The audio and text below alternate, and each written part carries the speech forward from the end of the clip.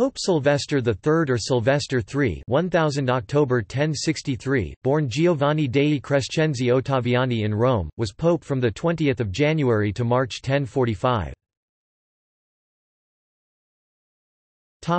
Background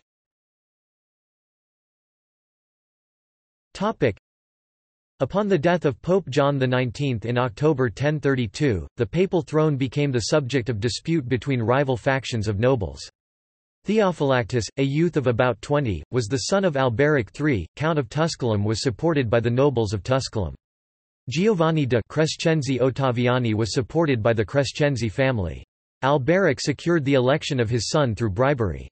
The nephew and namesake of Pope Benedict VIII, he took the name Benedict IX. The young man was not only unqualified, but led a reportedly dissolute life, and factional strife continued. A revolt in Rome led to Benedict IX being driven from the city in 1044. Papacy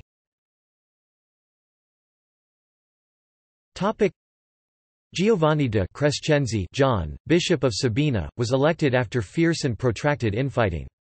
He took the name Sylvester III in January 1045.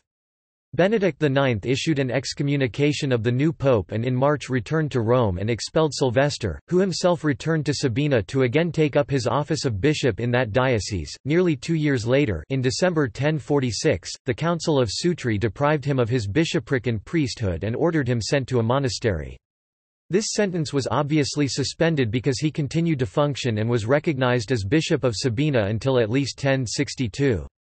A successor bishop to the See of Sabina is recorded for October 1063, indicating that John must have died prior to that date, though some consider him to have been an antipope. Sylvester III continues to be listed as an official pope 1045 in Vatican lists.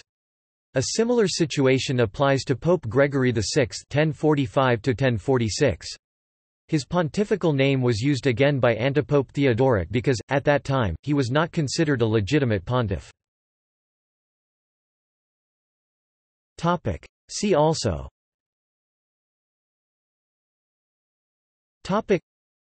Crescentii, powerful Roman clan.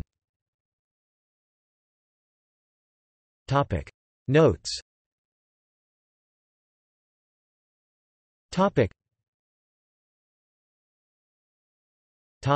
References.